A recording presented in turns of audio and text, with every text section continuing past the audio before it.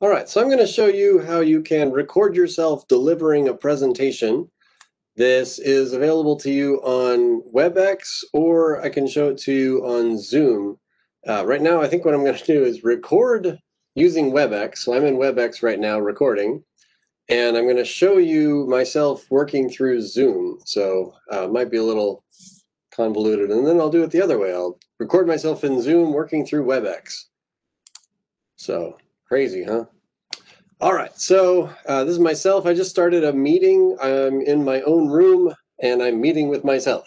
so uh, there's no audience, but it will show my image uh, kind of overlaid with the content that I'm going to share. Uh, I think that's, if I maybe stop my video, I think I can turn that off. So it's sort of up to you if you want to be part of the presentation as a friendly face on the side of the slides you're presenting, uh, or you could just be the audio behind the scenes. I guess one piece of advice before you get started, I did this once already and I forgot to turn on my microphone. So uh, make sure that's enabled before you start. Uh, so I'm going to go down and do the share option here.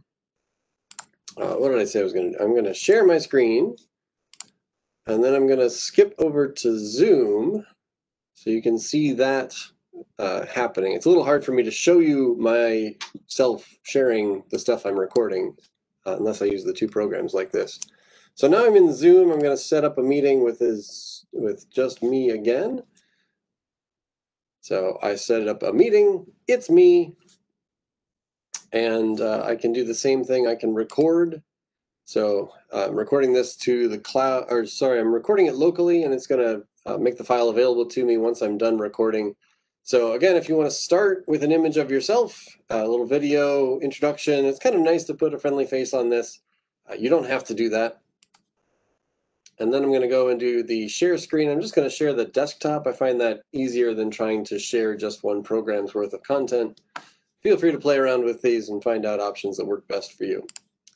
All right, so now on Zoom, I am sharing my screen and it's put me in a little inset box here. So Zoom is sharing uh, and I am not recording.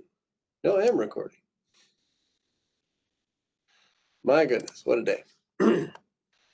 okay, so I'm sharing my screen and recording my content, and I can go over to the program that I want to present from. I can do this either through PowerPoint or uh, Google Slides. I'm kind of okay with either one.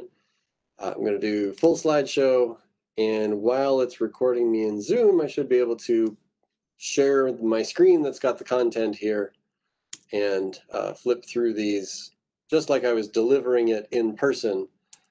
Uh, I can minimize myself also, and then I'll disappear from the Zoom video. So that's optional to you if you want to have yourself as a little floating head in the corner, or you could turn that off uh, while you're while you're presenting before you start presenting or anything like that.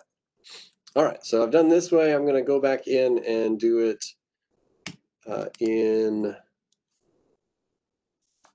uh, Google Slides, same thing. So I've got my presentation I went to present, and it really looks exactly the same on the presentation front. So whatever program works for you for presenting, and really whatever program works for you for recording yourself presenting would be just fine.